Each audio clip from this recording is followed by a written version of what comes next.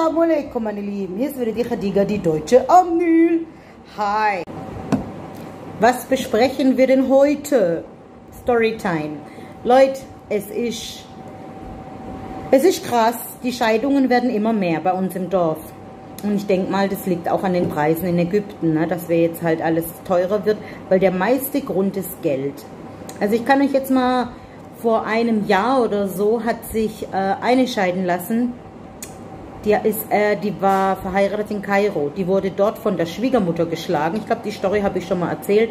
Und der Mann macht nichts. Die wurde von der Schwägerin geschlagen. Der Mann macht nichts. Der Mann gibt ihr auch kaum Geld.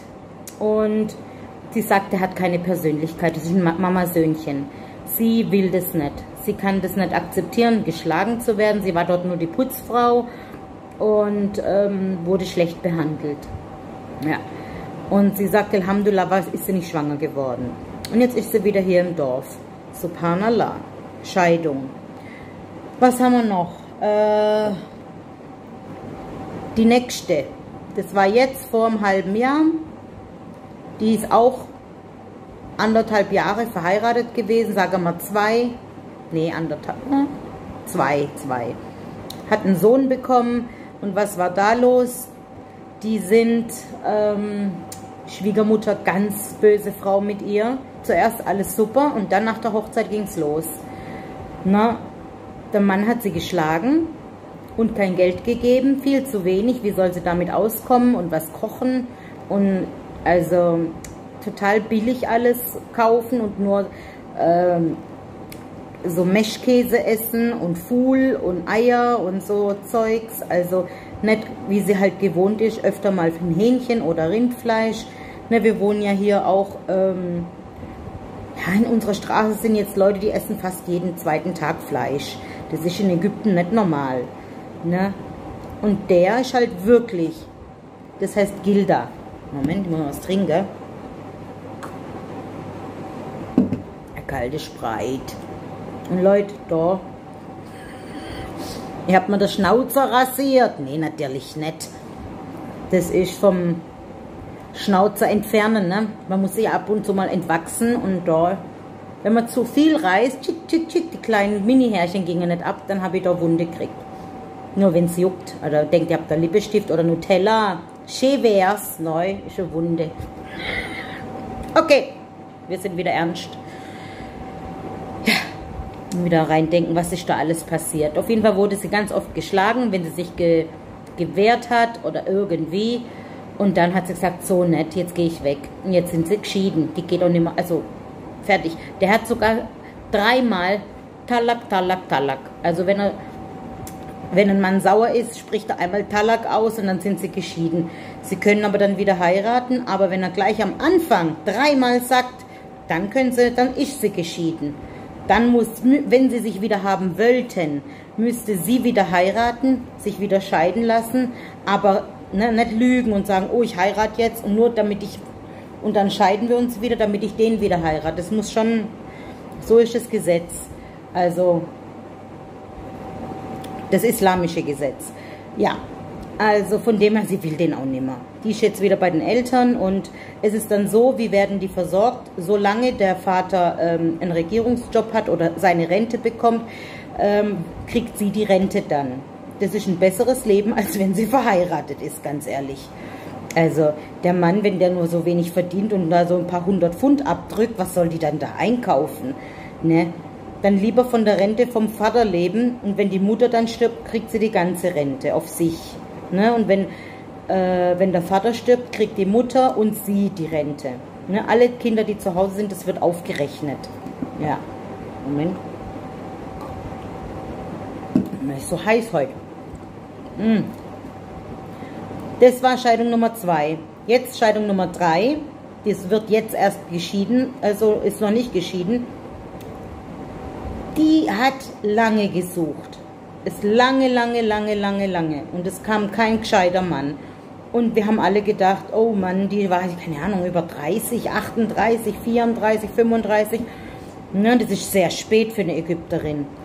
Ja, und sie ist halt hier bekannt so als Labertasche.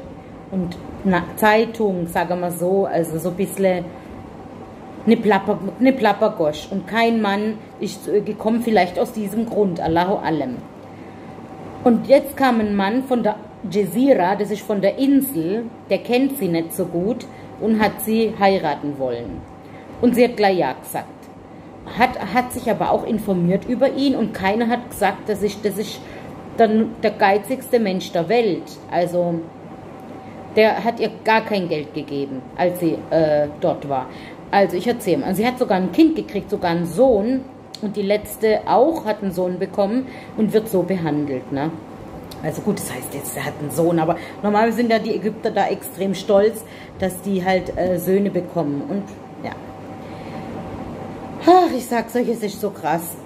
Sie Sie hat das Kind bekommen, war bei den Eltern natürlich, ist Tradition, wenn die Ägypterin ihr Kind bekommt, geht sie zwei Wochen zur Mutter.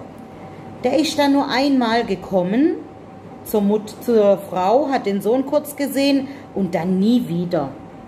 Und der Sohn ist jetzt neun Monate alt. Warum ist das so passiert? Also, in der Schwangerschaft oder in der ganzen Zeit, wo sie zusammen sind, das ist jetzt auch anderthalb Jahre, die war ziemlich schnell schwanger, also nee, vor zwei Jahren, dann der ist ja auch schon neun. Ja, da hat sie auch geheiratet vor zwei Jahren dann, sagen wir mal so. Hat sie auch, also zuerst war alles gut mit der Schwiegermutter, alles, aber die sind penetrant. Die sind jeden Tag zu ihr hochgekommen. Sie wohnt oben, die, äh, na klar, die Schwiegermutter unten. Und die hat zwei Schwägerinnen, beide geschieden. Beide Hexen Nummer eins, so sagt sie. Ne? Also richtig bösartig auch und frech. Und die sind bei ihr aus der Wohnung nicht rausgegangen. Sie hat geschwitzt, sie wollte sich auch umziehen, sie hat sich geschämt, in, in kurzen Sachen vor der Schwiegermutter rumzulaufen oder nein, Unterhose oder so, weil wenn es so heiß ist. Und die sind es gewöhnt, die, ähm, die sind da gelegen, haben sich das Polster geschnappt, auf den Boden gelegt und die zwei Schwestern, die Schwägerinnen, die haben Shisha geraucht. das musste ich erst mal lachen. Was? Die rauchen in der Wohnung Shisha und ein Feuer auf dem Teppich, der ganze Teppich verbrannt. Und ja, wie du so kennst, Kaugummi raus, unter den Tisch klebt oder mal kurz in den Kühlschrank geklebt. So kannst du das vorstellen. Also wie, wie, wie, bei der Hempels unterm Sofa. Und die sind immer weggegangen. Auch wenn sie müde war, um 1 Uhr nachts, schwanger. Oh, ich bin müde. Sie konnten nicht essen richtig. Äh, irgendwann hat, sie, hat, sie, hat ihr Mann gesagt, ähm, du, ähm, bleibt in deiner Wohnung dann, wenn du sich stresst und die bleiben dann unten. Aber wenn es Essen gibt, gehst runter. Dass er Geld spart. Und sie hat gesagt, nee, ich will nicht runtergehen. Lieber esse ich Salz und Brot, als mit denen zu essen. Ich will das nicht. Ja. Dann habe ich sie gefragt, ja, hat er dich geschlagen? Und die ist ja voll hart. Was? Der mich? Ich schlachte ihn, wenn er mich schlagen würde. Ich weiß ja nicht, aber wie der aussieht, aber ich kann, das ist eine ganz harte Frau, ganz starke Persönlichkeit, ne? Also die wurde nicht geschlagen, die hat einfach kein Geld bekommen. Ne, der Sohn wurde ähm, islamisch operiert, der ist noch nicht mal gekommen, kein Geld gegeben, nix. Dann hat sie, äh, sie ist ja dann weggegangen und hat auch gesagt, ich komme nimmer, weil du bist eh zwei Monate nicht da. Und er hat gesagt, ich verbiete dir zu deinem Vater zu gehen, du hast in deiner Wohnung zu bleiben. Und wenn es Essen gibt, gehst runter und nicht alleine kochen. Das ist zu teuer. Und sie wollte aber mit der Familie nicht. Und so hat es angefangen. Ne, dann hat er ihr kein Geld geschickt, so in der Art, dann muss runtergehen und hat gesagt, wenn das so ist, dann gehe ich zu meinen Eltern. Mein Vater füttert uns als der Sohn, der muss jetzt irgendwie, hat er mit der, mit der Lunge Probleme, so, der braucht so ein Atemgerät, das hat sie sich jetzt irgendwie selber gekauft. Ähm, und dass er dann, wenn er es braucht, hat und es soll anscheinend, sagt der Arzt, mit der Lunge nach drei Jahren verschwinden. Keine Ahnung, was er hat. Aber es ist nicht schlimm, sagt sie. Das Inshallah es weg nach drei Jahren. Der Vater hat sich nicht mal drum gekümmert, nachgefragt. Der, sie hat auch gesagt, der hat keine Persönlichkeit. Und alles, was sie ihm sagt, wird sofort an die Mutter getragen. Selbst wenn sie sagt, bitte sag's deiner Mutter nicht. Eine halbe Stunde später, die Mama weiß es. Dann waren sie ähm, bei, äh, auf einer Hochzeit von seiner Familie und hat sie gesehen, wie die Männer da volle Bier getrunken haben und, ähm, und konsumiert haben, so Zeugs, ne? Und andere Sachen, härtere Sachen auch. Und das hat sie ihm gesagt. Sag mal, was ist denn da los mit einer? Die sind ja alle voll drauf. Und dann ähm, hab, hab, äh, ich habe das gesehen, aber sagt es seiner Mutter nicht, was ich dort gesehen habe. Zack, hat das der Mutter gesagt. Die Mutter, was? Und ähm, ja, was, und der Bruder, das ist ein Schlawiner von ihm, der leiht sich Geld bei den Leuten und gibt es nicht zurück. Und dann muss der, muss der, der, Ehemann, also von ihr noch, der muss die Schulden begleichen, weil die Leute kommen zu denen ins Haus. Dann muss er einen Kredit aufnehmen, hat das ganze Gold eingesackt von ihr und hat es verkauft, damit er die Schulden tilgen kann und das ganze Geld der Mutter gegeben. Also sie hat weder Gold, sie hat kein Geld gekriegt. Dann hat sie mal ein paar Shares hingeschickt, dass sie mit ihm reden. Sie ist bei ihrem Vater. Äh, es geht ja so nicht. Der hat dann hat, weil das ist ihr Recht, er muss sie finanzieren. 2000 Pfund muss er ihr geben im Monat. Dann hat er mal 2000 geschickt, dann mal nichts, dann kam nur 1000 und dann kam gar nichts mehr. Also das heißt, sie müsste jeden Monat jemand schicken, um ihn zu erinnern, dass er noch eine Frau und ein Kind hat. Ne? Und das will sie nicht. Sie will jetzt nach dem Opferfest zum äh, vor Gericht gehen und sich scheiden lassen und ihr Recht holen. Und in, ihr, in, in ihrem Ehevertrag steht 500.000 Pfund Subhanallah. Ob sie das kriegt, der hat ja selber nichts. Aber sie kann ihre Möbel wieder zurückholen und dann muss er es halt per Kredit zu ihr zurückzahlen. Oder weiß ich nicht, ob er Länder, Ländereien hat, Felder. Irgendwas muss er machen, weil sie hat ihr Recht nach der Scheidung. Ja, und ich sag's euch, wie es ist. Das darf man normalerweise nicht sagen, aber bevor du mit deinem Kind in deiner Wohnung verhungerst und so einen Mann hast, der, dann, der dir kein Geld gibt mit einem Baby und Pampers nix und gar nichts, dann bist du lieber bei deinem Vater und bist geschieden und kriegst das, die Rente von deinem Vater. Da hast du mehr Geld als äh, so. Ne?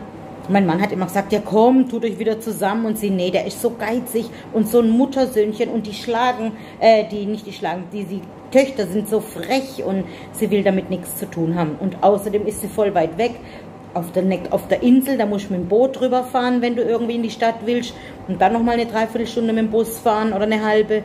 Also das ist, das ist nichts für sie. Sie fühlt sich bei ihren Eltern wohl, da hat sie Essen, Trinken und ich habe sie ja auch besucht ich muss ja sagen, äh, ich habe ja eigentlich nie so Kontakt zu ihr. Sie hat mich auf der Straße immer abgeküsst. Ne? Oh, Khadija. Und ich habe immer ihren Namen vergessen. Hat sie immer gesagt, wie heißt ich? Wie heißt sie? Und ich immer, nein. Jetzt weiß ich endlich, wie sie heißt. Nach ein paar Jahren. Auf jeden Fall habe ich sie besucht und habe ihr 100 Pfund ins Baby, weil man, man, wenn man, wenn die Geburt kommt und du besuchst die Frau, gibst irgendwie Geld. Und jetzt ist sie heute gekommen zum Yunis wegen, dem, ne, wegen der Operation und hat die 100 Pfund wieder zurückgegeben. Das ist so. Wenn du nämlich, ähm, die, als ob die sich das aufschreiben oder merken, wer da war, du kriegst das Geld immer wieder zurück, was du gegeben hast. Ne? Finde ich auch voll süß. Naja, gut. Anyway. Ja, und jetzt kommt die nächste Scheidung. Ne? Also, ich muss sagen, mit meiner Schwägerin ist alles tippitoppi, Alhamdulillah.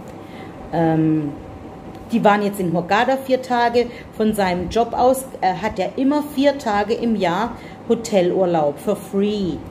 Ne, da gehen die immer umsonst äh, für vier Tage. Und vielleicht tun die noch zwei, drei Tage dran und gehen in eine Wohnung. Keine Ahnung. Aber die hat ein schönes Leben. Sie hat auch gesagt, es ist langweilig, aber so ist das Eheleben. Ne, sie hat keine Freunde, sie guckt halt viel Fernsehen, sie schläft lang, sie ist die ganze Nacht wach. Und wenn der Mann kommt, essen, trinken, oh ja, was soll sie machen? So, ist ihr, so denkt sie über das Leben. Aber sie ist glücklich ne, mit ihm.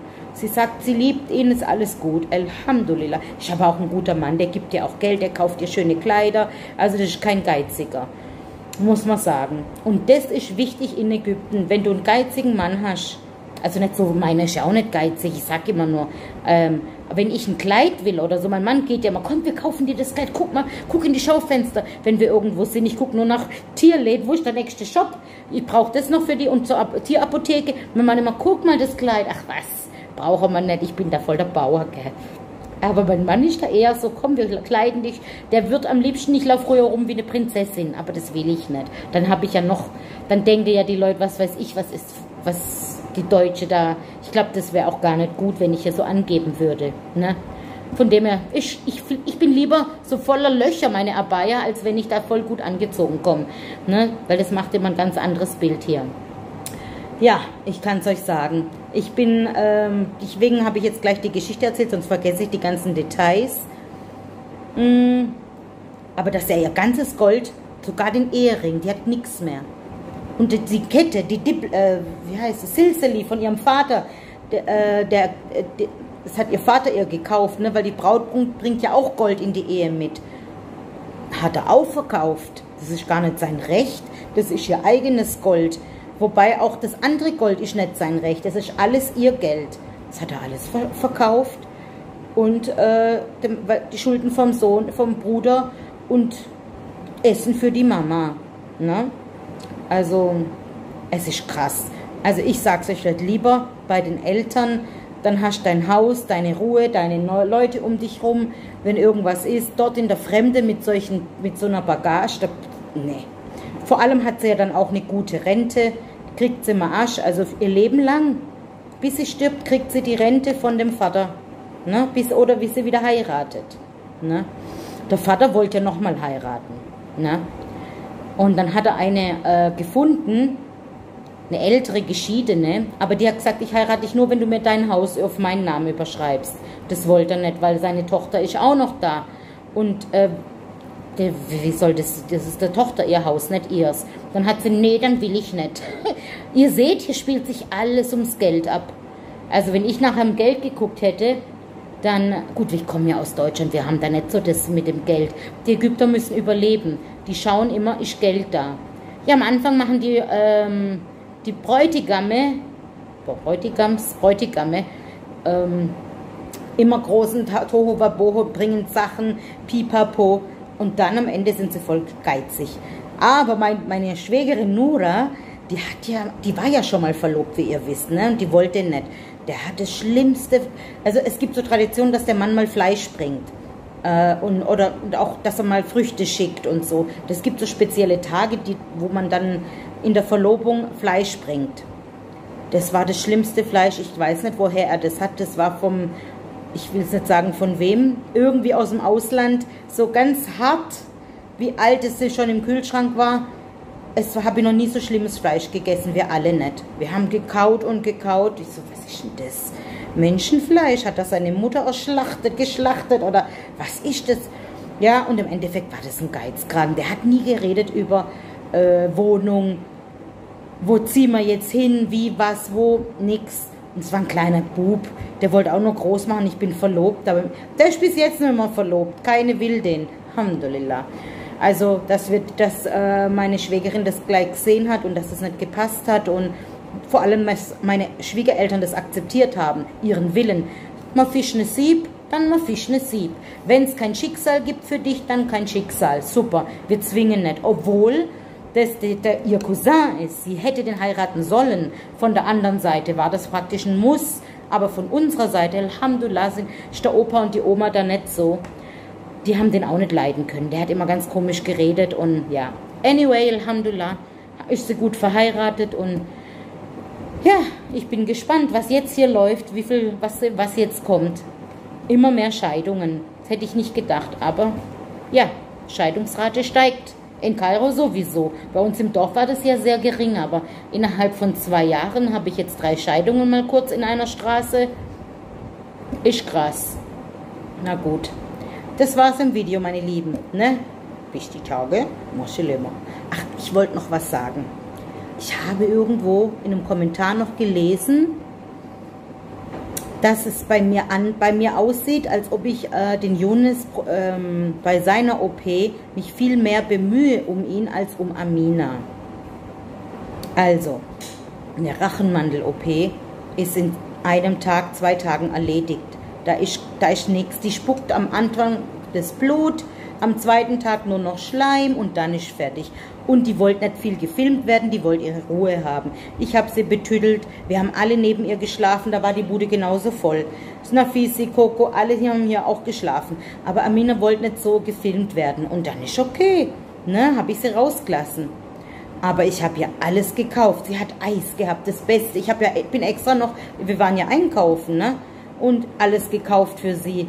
Und ähm, dass sie Joghurt da hat und alles Grießbrei für sie gemacht und, und, und. Ne? Also ihr braucht nicht denken. Und jetzt habe ich Amazon bestellt, nur für sie, ihre Perlen. Also, dass, dass wenn bei einer Operation, die äußerlich ist, dass man sich da, und vor allem war ich da dabei, ich habe alles gesehen und die Bilder waren, kriege ich noch so schnell nimmer aus meinem Kopf. Also es war, obwohl es mit Laser war, es war nicht schön, kann ich euch sagen. Als Mutter, vor allem wenn das Kind in Narkose ist und du siehst es, wie es langsam aufwacht und wie es die Zähne zusammenkneift und dann wieder, dann redest du mit ihm, hörst du mich, Jonas? Und dann macht er nur den Mund so, oh. Und da denkst Hilfe. Und dann immer die Hand auf seinem Herz, klopft es noch, klopft es noch. Also ich war fix und fertig. Als er dann aufgewacht ist, war er erstmal, man musste ihn dann mit beiden Händen festhalten, dass er sich nicht ans Pipi fasst, weil er wusste nicht, was ist hier los. Und dann hat er Schmerzen gehabt und ich schnell getrunken. Dann hat er gespuckt. Vielleicht war das zu früh. Hat er alles rausgespuckt. Und dann noch kam noch das Eis raus. Und dann habe ich ihm wieder Schmerzen, dann wo er richtig wach war, habe ich ihm nochmal Schmerzen, wahrscheinlich auch überdosiert. Aber das war mir dann egal. Hauptsache er hat keine Schmerzen. Ne? Also ich habe jetzt gesehen, da das, die weiße Flüssigkeit, das ist äh, Fiebersaft, Cutterfly, dann hat er nochmal gekriegt. Und Leute, es ist eine blutige Angelegenheit und dass man da mehr mitleidet und mehr weint, als wenn jetzt da äh, im Krankenhaus bei Vollnarkose und ich war immer neben ihr. Ich habe ihre Hand gehalten. Ich war, als sie eingeschlafen ist, als sie aufgewacht war. Man macht sich genau gleich die Sorgen. Nur beim Younes was ist schlimmer, die Sache? Die ist nicht so cool. Äh, mal ein bisschen nur die Rachenmantel raus. Das sind ja nicht mal die Polypen und nicht die Mandel. Das ist unter den Polypen ist die Rachenmantel. Die wird einmal rausgezogen, das war's. Es ist eine leichte OP.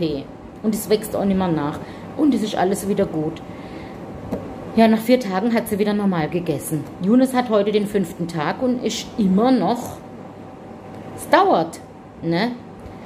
Ja, und es, er läuft halt, wenn du irgendwo dran kommst, sind die Schmerzen äh, ja da. Aber sonst hat er keine Schmerzen. Er braucht keinen Saft, nichts.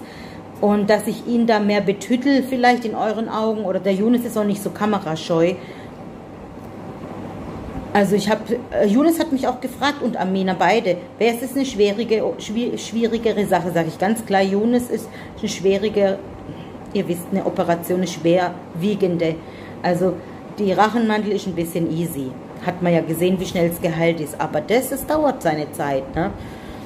Ja, und von dem her immer die, ich weiß es nicht, aber ob extra darauf geachtet wird, wen ich jetzt besser behandle, ich weiß es nicht, aber immer wieder lese ich das in den Kommentaren, dass ich den Yunus bevorzuge. Ich denke, ihr habt so ein Bild, dass ähm, in Ägypten die, äh, die Jungs wie Prinzen behandelt werden und ich mache das auch. Gar nicht ich, wenn ihr wüsstet, wie streng ich manchmal auch mit dem Younes bin, also vor der Kamera natürlich nicht, das will ich ihn auch nicht bloßstellen, aber dann sagt er auch, du liebst mich nicht ins mein Gesicht. Keiner liebt mich in diesem Haus, ich will das Haus verlassen. Also, ne, also so ist es nicht, dass, ich, dass er sich so geliebt fühlt und alles. Das ist, wie soll ich denn sagen, das sind so Kinderfürz. Und ich, genauso finde ich diese Kommentare Kinderfürz. Wie kannst du zu einer Mutter sagen, oh, da hat man jetzt aber mehr gesehen, dass du dich mehr betüdelst beim Junis und dem machst viel mehr als bei deiner Tochter. Sorry, Leute, aber das ist doch nicht, das ist nicht okay. Ne? Das kommt entweder von einer Frau, die keine Kinder hat, oder selber ein Lieblingskind hat. Was ich nicht verstehen kann, weil man liebt jedes Kind gleich, aber jedes auf seine andere Weise. Weil jeder hat andere Eigenschaften und, jeder, und diese Eigenschaften liebt man an dem Kind. Und sowieso liebt man seine Kinder. Da gibt's nichts, egal was die machen. Man liebt die Kinder bedingungslos. Selbst wenn mein Kind ein Mörder wäre, würde ich ihn lieben. Es ist so. Hoffentlich macht mir YouTube nicht hier einen Strich durch die Rechnung, was für Wörter ich hier schon wieder benutze. Da muss man aufpassen, da, gell? Da, also, jetzt, jetzt gehen wir wieder. Bis die Tage. Marcelema. Bye, bye.